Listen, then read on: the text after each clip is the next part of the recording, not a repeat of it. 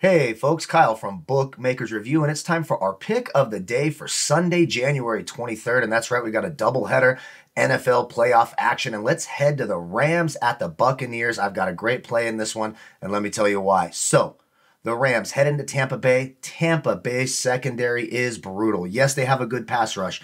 Yes, they're good against the run, but that secondary is bad and was torched already earlier this year by this Rams passing attack. I expect more of the same, so I'm taking a Rams team total over 23 and a half. It's a great number to play through through that 24 at minus 110. I found that at several outlets on BMR, so I don't think you'll have any trouble finding that team total as long as the book offers a team total. So over 23 and a half, minus 110. I think the Rams get to 24 points, and I won't worry about who wins or loses. Be sure you head over to our Bookmakers Review YouTube page, hit that subscribe button, be a part of our team. And for those of you following along on Twitter, be sure to give us a follow as well at BMR Reviews for more picks, plays, predictions, and analysis from all of your favorite BMR experts. Once again, Rams team total over 23 and a half minus 110. Don't forget if it's winning picks you want, we got you covered right here at Bookmakers Review. Have a great weekend, and as usual, good luck on those wagers.